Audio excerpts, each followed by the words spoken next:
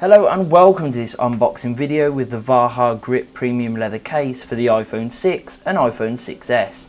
As you can see quite minimal packaging but very nicely presented by Vaja. And we'll just go and open this up.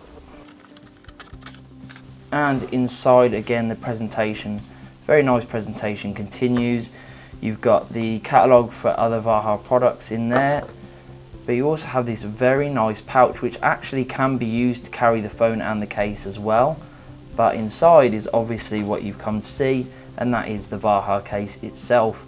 Really well finished well crafted from the highest quality materials and it presents a very nice snug fit. Now if you would like to see a further detailed analysis of this case please check out the description below which I'll have a link to the actual review of this case. So check that out, subscribe if you haven't already and head over to Mobile Fun today to see more about this case. And for more top cases and review videos please hit the subscribe button below.